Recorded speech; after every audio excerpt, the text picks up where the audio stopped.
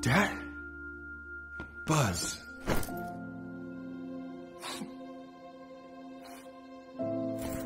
Wow, you look just like me.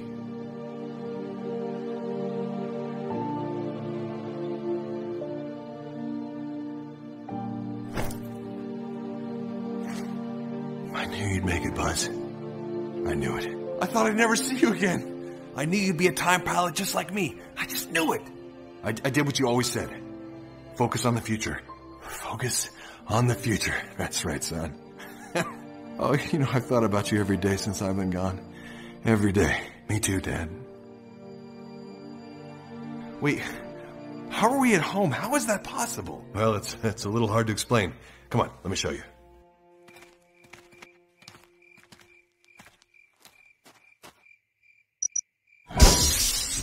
Whoa, what? Isn't that cool? We're actually on their mothership. Just incredible engineering.